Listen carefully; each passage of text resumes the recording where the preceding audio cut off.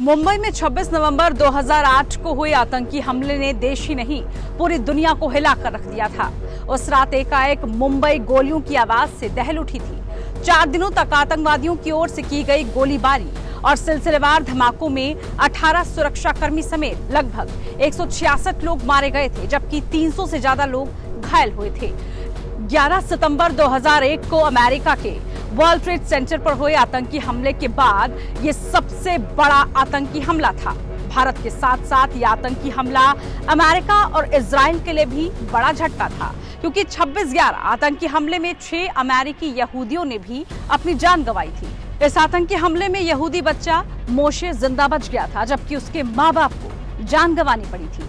PM Modi ने 26 ग्यारह हमले में चमत्कारीय रूप से बचे इजरायली बच्चे मोशो से मुलाकात भी की थी। 26 ग्यारह 2008 को मुंबई के कोलाबा में चबाड हाउस को आतंकियों ने खासतौर से निशाना बनाया था। यहूदियों की इस प्रमुख इमारत को नरीमन हाउस के नाम से भी जाना जाता है। अमेरिका और इसराइल ने उसी दिन ठान लिया था कि वो खुद 26 ग्यारह के गुनाहगारों को छोड़ेगा नहीं। 26 ग्यारह का वो दिन और आज का दिन 26 ग्यारह आतंकी हमले का मास्टरमाइंड। हाफिज सईद और उसके लश्कर की उल्टी गिनती शुरू हो गई है। हाल ही में 26 सितंबर को यह खबर आई थी कि हाफिज सईद का बेटा कमालुद्दीन सईद गायब हो गया है। उसे किडनैप कर लिया गया है।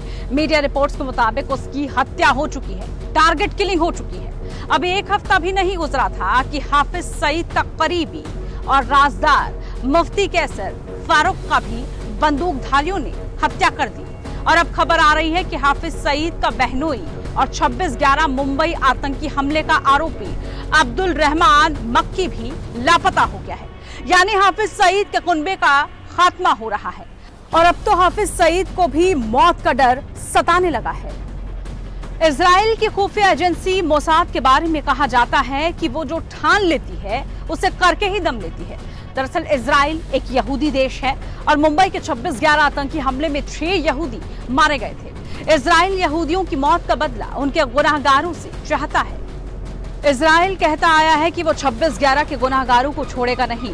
वहाँ प्रधानमंत्री बेंजामिन नेत्युयाहू कई बार कह चुके हैं कि 26 ग्यारह आतंकी हमले के दोषी कीमत ज़रूर चुकाएँगे। इसराइल संसद के स्पीकर आमिर ओहाना भी 26 ग्यारह आतंकी हमले को लेकर बड़ा बयान दे चुके हैं। उन्होंने हाल ही में कहा था कि मुंबई हमले के साजिशकर्ताओं को भारी कीमत चुकानी पड़ेगी।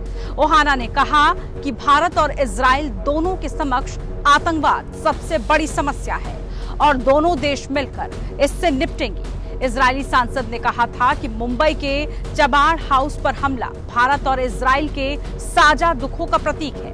आतंकवाद के खिलाफ लड़ाई सभी आज़ाद देशों की ज़रूरत है, विशेष रूप से भारत और इसराइल जैसे देशों के लिए। तो क्या ये माना जाए कि इसराइल की खुफिया एजेंसी मोसाद 26 ग्यारह आतंकी हमले का बदला लेने के लिए एक खास ऑपरेशन में जुटी हुई है। वो हाफिज सईद के लश्कर को क्रैक डाउन करने में जुटी है। फ़िलहाल जिस तरह से हाफिज के कुनबे से एक एक आतंकी लापता हो रहा है, उसके बाद आतंकी हाफिज सईद को भी अपनी मौत का डर ज़रूर सता रहा होगा। अगर आपको ये वीडियो पसंद आई हो तो उसको लाइक और शेयर ज़रूर कीजिए। साथ ही बने रहिए Times Now Bharat digital platform के साथ। नमस्कार।